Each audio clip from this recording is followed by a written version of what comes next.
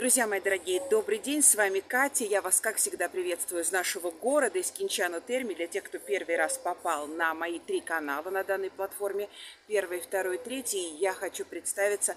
Я являюсь официальным экскурсоводом Рима и Ватикана, я являюсь журналистом. Как всегда, под сюжетом в описаниях я оставлю ссылку на все мои три канала на данной платформе, и там же будет ссылка на мой телеграм-канал. Друзья, спасибо большое. За вчерашний день я получила донат. Алексей из Германии, спасибо, что поддерживаете мою работу. Ну что ж, значит, сегодня мы с вами поговорим про искусственный интеллект. Такая очень модная тема.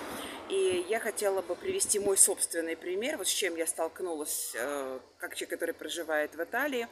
И мне, для меня будет очень важно, чтобы мои подписчики, именно которые проживают в Италии, сталкивались ли вы с такими понятиями, как ПЭК и такое понятие, как СПИД но ну, не СПИД, я имею в виду СПИД э, заболевание, а СПИД это такая форма, почтовый, почтовый веб-сайт, так называемое цифровое, э, цифровое удостоверение личности. Я объясню, почему у меня потребовалась необходимость в данных, в, да, в, да, в данных ссылках, потому что у нас в этом году, у большинства экскурсоводов, у нас заканчивается лицензия.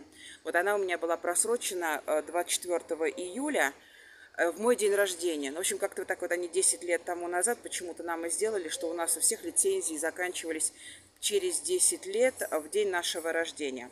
Вот, значит, это вот, смотрите, моя старая лицензия, это когда-то у меня был номер 392, это который еще, скажем, до Евросоюза. А потом у нас с определенного момента стало очень много, у меня номер 5124. То есть напечатали огромное количество этих лицензий они. Был такой момент, когда просто-напросто их выдавали направо и налево. Ну и, в общем-то, мы, экскурсоводы, понимая, что в этом году у нас заканчиваются лицензии, нам надо их продлевать, соответственно, мы заранее заранее стали писать письма провинции Дерома, регион Лацо, в, подразделения, которые занимаются туризмом, и, в общем-то, запросили документы. Там нам дали определенную ссылку, куда надо было отправить запрос.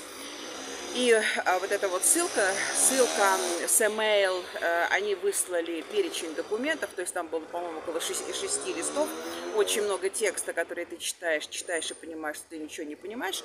Но, в общем-то, там где-то в конце была такая небольшая приписка, что, что требовалось для того, чтобы продлить э, лицензию. Вот, и, в общем-то, все вот эти документы, естественно, у нас, они на руках, потому что, в общем-то, перечень документов не такой сложный, а проблема заключалась в том, это способы отправки. Значит, там стоял email э, просто региона, регион, э, провинция Дерома, регион Лацо, которые занимаются вот продлением лицензии, вот, обычный email, э, потом еще один какой-то email, и потом стоял вот этот вот самый пэк.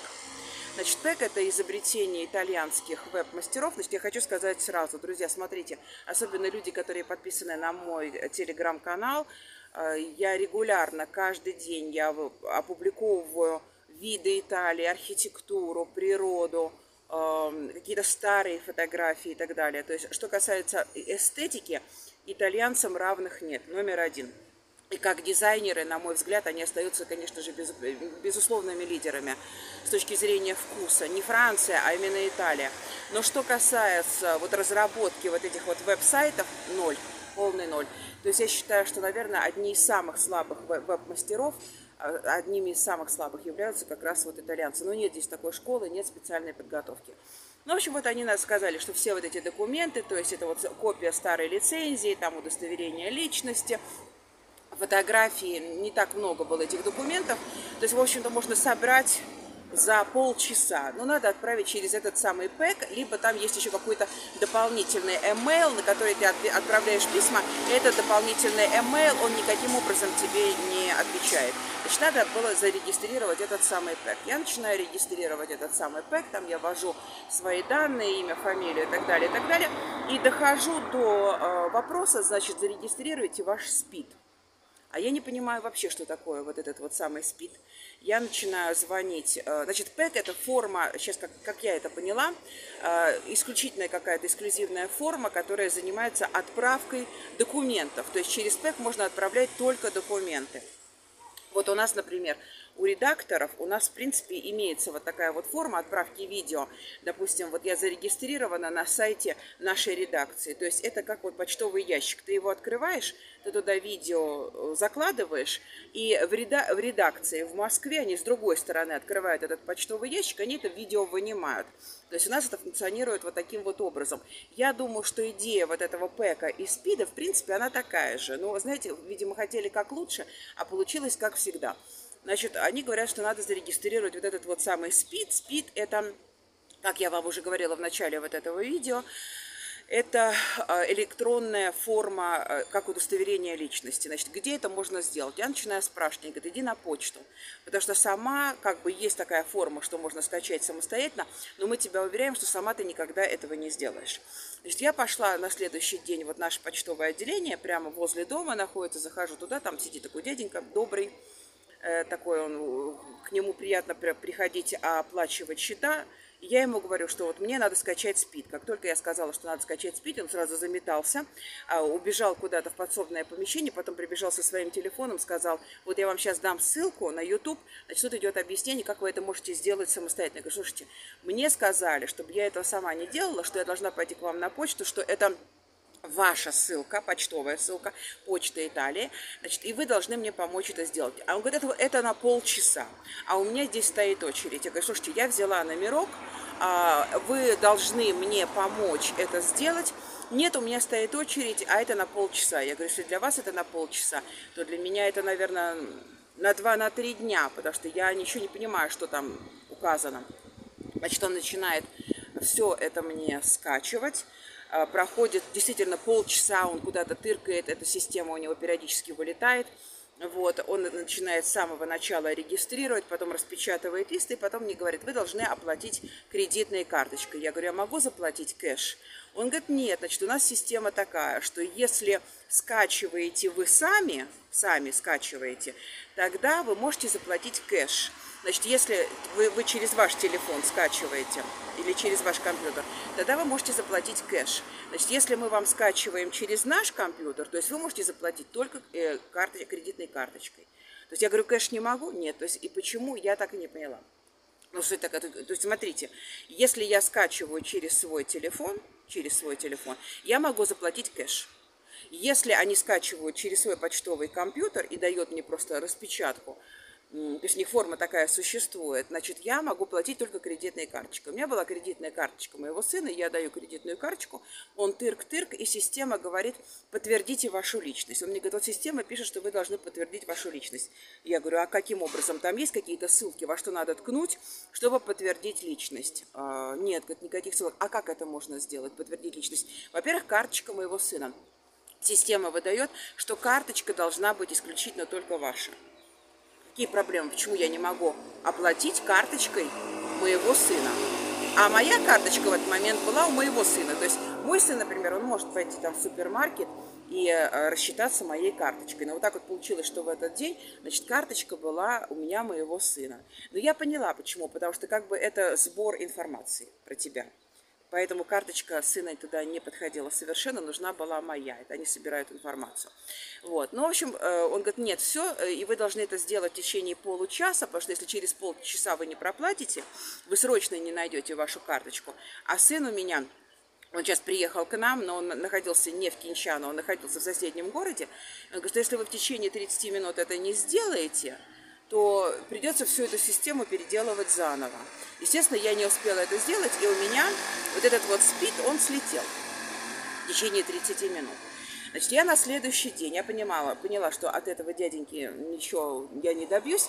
Я пошла э, на площадь Италии, там у нас находится центральный офис, и там сидят девчонки помоложе. Я прихожу туда и говорю, мне надо скачать вот этот самый спид. Как они только услышали, вы знаете, вы там делаете, мы вам ссылку дадим. Я говорю, нет. Вот там этот дядька вчера на, на, в историческом центре колупался очень долго. Я никогда этого не сделала. Слушайте, значит, это было... Я потратила три часа. Вот эта девчонка с почты. А она сидела три часа, она мне не могла его скачать. Вот через мой телефон не могла скачать. Я говорю, понимаете, а, а виснет система, я вам сейчас дам номер телефона, это ассистент, ассистент, ассистенция ассистенты для клиентов. Звоните туда. Я говорю, нет, будьте так любезны, позвоните, пожалуйста, вы. Нет, должен звонить сам клиент. Я вас прошу, позвоните, пожалуйста, по этому номеру с моего телефона.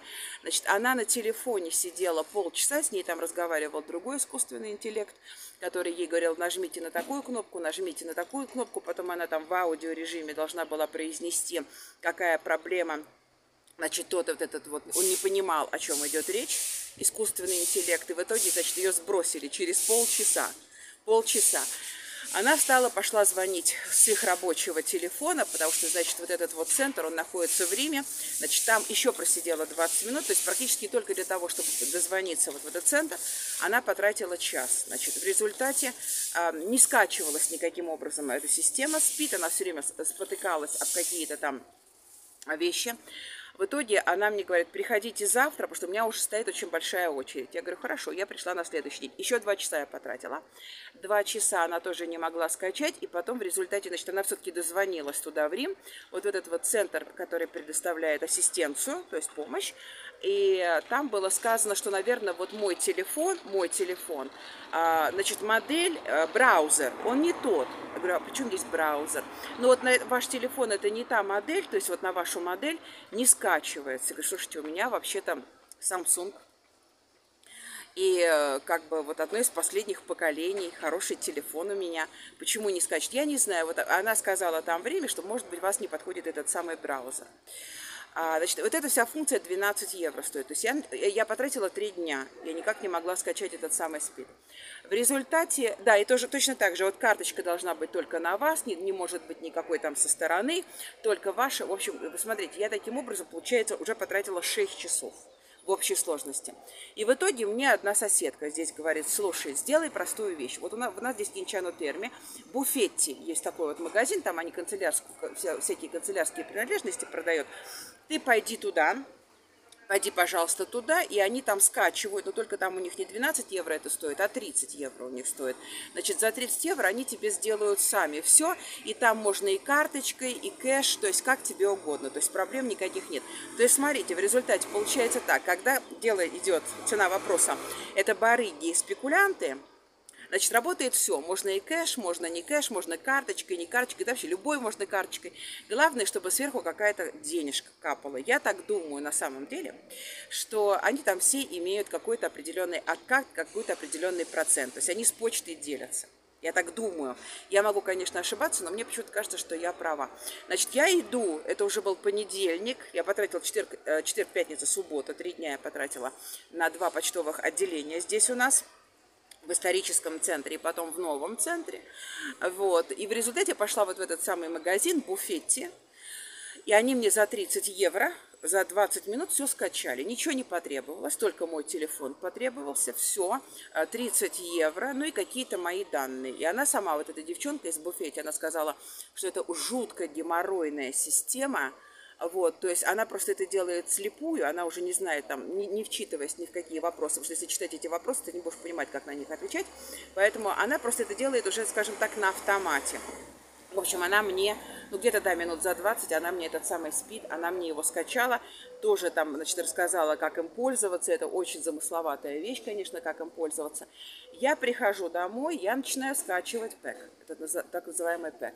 Пэк мне выдает такую вещь, что поскольку я несколько дней тому назад уже пыталась это сделать, а, поэтому, значит, как бы сейчас мне это сделать э, нет возможности. Либо надо звонить, вот эта ассистенция, вот эта ассистенция клиентов и задавать вопрос, почему. Потому что я делала практически на свой электронный э, email адрес. Они говорят, нет, уже ваши данные введены, а там же надо еще вводить имя и фамилию. Вот. Я ввела свое имя и фамилию, значит, как бы, поскольку я не смогла зарегистрировать ПЭК, потому что у меня не было вот этого СПИДа, но я данные свои ввела. Так вот, когда у меня появился СПИД, я начала регистрировать ПЭК, то новый ПЭК мне выдал, что нет, я не могу сейчас зарегистрироваться, потому что как бы я пыталась это уже сделать, и вот эта функция, она не была завершена, потому что у меня тогда не было СПИДа. Соответственно, на данный момент я пока что не могу повторить вот эту функцию, регистрацию на ПЭКе. Не могу этого сделать, что я это пыталась сделать. То есть, видимо, они должны обработать каким-то образом данные, а, какая-то пауза, я не могу понять, потому что я туда пыталась звонить, они не отвечают, они ничего не говорят. Вы пытаетесь, вы пытаетесь, вы пытаетесь, я на почту пришла, что мне делать с этим пэком, но вы пытаетесь, потому что, видимо, день потребуется, два, недели, месяц, полгода, год, когда они вас потом по вашим прежним данным перезарегистрируют. Вы можете себе представить? В результате у меня не получилось зарегистрировать вот этот самый ПЭК. Что я сделала? Я просто пошла, распечатала все свои документы, сделала фотографию, я пошла на почту. И в результате для того, чтобы э, продлить свою лицензию, я отправила все документы, как это делалось когда-то, обычной заказной почтой. Я отправила в Рим. Я могла бы это сделать еще два месяца тому назад. Я это сделала, ну, я вам рассказываю историю, которая произошла две недели тому назад. То есть я это пыталась все организовать где-то за два месяца, у меня ничего не получалось. Вот. В общем, я отправила обычный заказной почтой. Раньше как у нас было? То есть мы вот 10 лет тому назад, мы приехали просто в провинцию Дирома, вот туристическое вот это отдел, мы просто привезли туда документы, все, никаких проблем, и нам сказали, э, там примерно через неделю все, лицензия новая будет готова. Это было 10 лет тому назад, это было все по-человечески. Сейчас они сделали как искусственный интеллект. Вот я вам рассказала как пример. В результате мне пришло... А на, туда вести документы возможности нет, то есть они тебя там не принимают напрямую. Там сидят какие-то две девчонки, рассказали, 5 тысяч документов они должны обработать две девчонки. Представьте, это июль сейчас и август. Это время отпускное. Время отпускное, поэтому июль-август они все равно сейчас ничего делать не будут. А, звонить, я туда пыталась звонить, никто по телефону там не отвечает. Телефон либо занят все время, либо просто никто не отвечает. То есть это без вариантов. Абсолютно. И у нас вот таким вот образом около 70%, это половина – у нас экскурсоводов сейчас ходят с просроченными лицензиями.